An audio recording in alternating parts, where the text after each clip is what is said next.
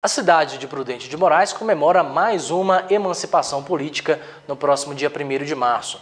Para comemorar a data, a Prefeitura confirmou na programação do aniversário da cidade o cantor Paulo Ricardo, do antigo RPM, como a atração principal.